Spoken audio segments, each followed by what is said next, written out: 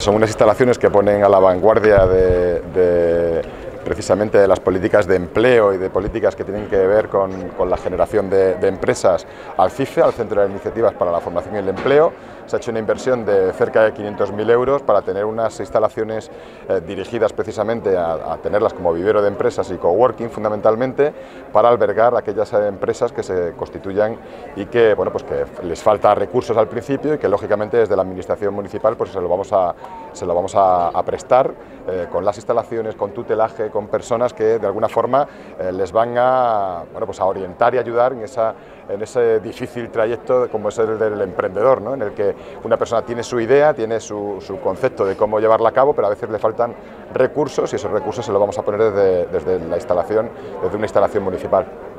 Ha sido un trabajo que nos ha costado bueno, pues un tiempo porque las instalaciones son muy grandes, estamos hablando de, que se van a albergar aquí más de, de 20 eh, personas, de 20 empresas que van a, poner en marcha sus proyectos y esto no, no era fácil, ¿no? sobre todo porque eh, lo hemos hecho innovando con respecto a otros viveros y, y coworking que hemos estado visitando. ¿no? Yo creo que aquí hemos implantado eh, pues, cuestiones muy novedosas y yo creo que, que, bueno, que eso es lo que le ha hecho que, que sea especial. ¿no? De alguna forma vamos a estar en el, vamos a competir también porque eh, quiero recordar que hemos puesto unos precios eh, municipales pues muy asequibles ¿no? para que las personas puedan venir aquí a desarrollar sus trabajos.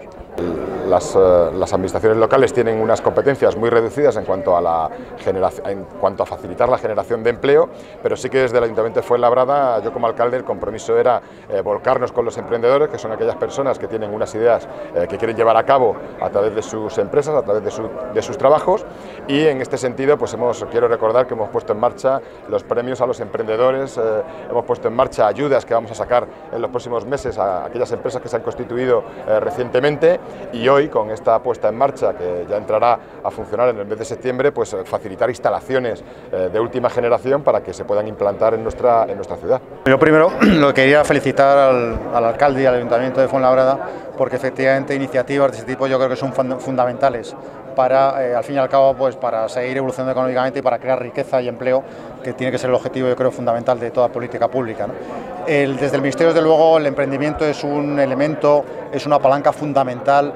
dentro de eh, lo que son las acciones, eh, instrumentos que queremos llevar a cabo. ¿no? Consideramos que, efectivamente, de nuevo, pues eh, si queremos crear empleo, si queremos que la sociedad española siga evolucionando económicamente y que siga creciendo, pues hay que apoyar de forma decidida el emprendimiento. Y por lo tanto, instalaciones de este tipo pues, van perfectamente en, esta línea y, y, por tanto pues, el Ayuntamiento de Fuenlabrada contará con todo el apoyo que podamos brindarle desde el Ministerio. Creo que es un paso muy importante, ¿no? el hecho de que esté hoy el director eh, general de Industria del Ministerio, que esté aquí conociendo las instalaciones de primera mano, eh, a mí me parece que hacía mucho tiempo que no veíamos un gesto de, estos, eh, de este nivel. ¿no? Lo pongo encima de la mesa porque creo que es importante que administraciones superiores vengan a conocer qué hacemos los ayuntamientos y luego ya nos pondremos a trabajar conjuntamente. Pero lo primero, yo echo de menos que no haya ningún representante de la Comunidad de Madrid. ¿no? Yo, por poner, mí antes el ejemplo de la visita de la, de la actual, de la reciente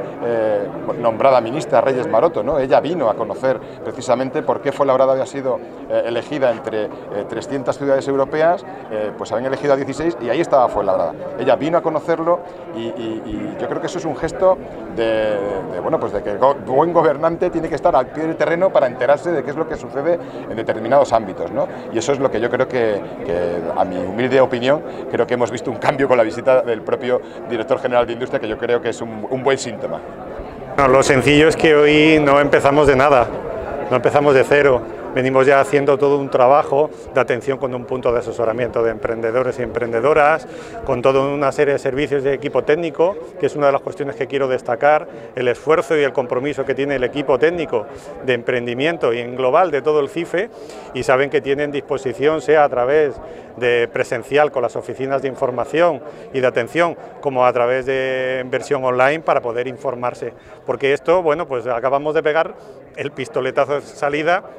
se ha hecho una jornada de puertas abiertas de una infraestructura, pero ya hay servicios desde hace mucho tiempo. Esto es una apuesta y una trayectoria importante de tiempo. La idea era también que como agencia de desarrollo local, el CIFE,